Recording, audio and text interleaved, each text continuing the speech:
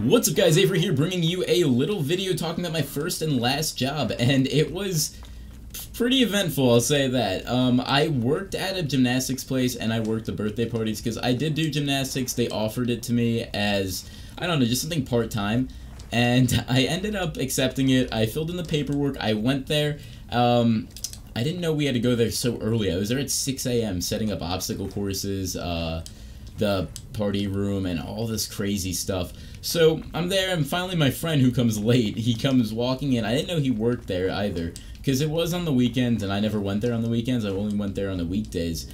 And the first party was coming in, and thank God me and my friend were just hanging out. We were just talking, uh, uh, just bullshitting.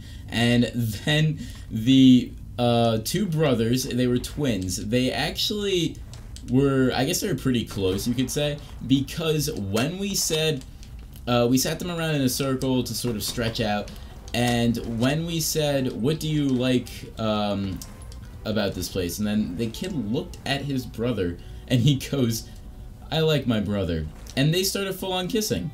And I didn't know what to do. I looked at my friend, my friend looked at me, shrugged his shoulders, I looked at the parents, the parents didn't seem to mind, um, so I assumed this was normal around their house, and I was like, alright, I'm gonna let it go. I don't know what to do. So it was a very affectionate crowd. And then party 2 came around, where there was this child who didn't want to be away from his parents. So I was like, okay, I have two little sisters, not the same age, but I'm pretty sure I could relate to this. Not relate, but I could make this kid sort of come out of his shell, be a little bit, uh, I don't know, more relaxed. So I was like trying to be a therapist, and I was trying to tell him, "Oh, it's gonna be fine. Your parents will be out there when uh, when the party's over."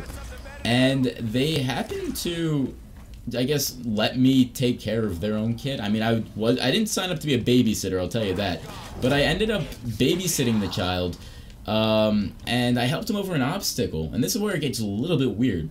I help him over an obstacle, and he looks up at me and he goes, "Can you be my dad?" And I was looked at him, and I go, "That is a horrible thing to say."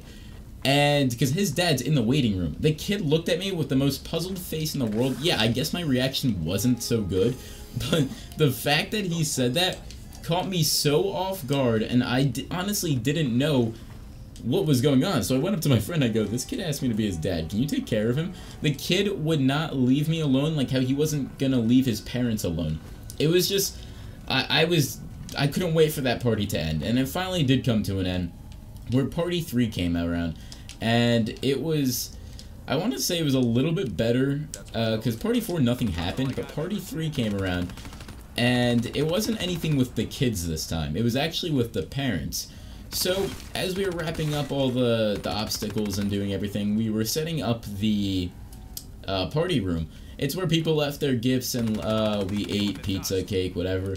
And the the so I don't know why this place I worked at they put their stuff in not their stuff, but they put their uh, parties or the people's gifts in garbage bags.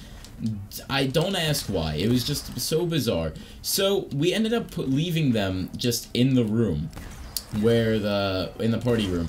So the head lady ends up going around cleaning up and everything. And as she was cleaning up, my favorite part was she places the garbage full of pizza, cake, and drinks, and well, and plates and things like that, into the, uh, into the, I guess, area where we left the gifts. So you have black bags full of presents and garbage. The parents ended up taking home all the garbage. They did not take home one single bag of the presents. Now, I don't know how. I'm pretty sure you could feel the weight difference, and one one would be squishy and wet, and there's not boxes in them. I mean, besides the pizza boxes, I don't know how they managed to take home a simple, I guess, present bag. It was just the most bizarre thing. They loaded up their cars with garbage and took it home. And I don't know what happened. They didn't come back during Party 4. That was just that. But anyway, I hope you guys enjoyed this video. If you want me to talk about anything else or other things, just leave it in the comments, and I definitely will get around to that, because I kind of like doing these videos just over gameplay while playing. I have horrible ADD, so as you can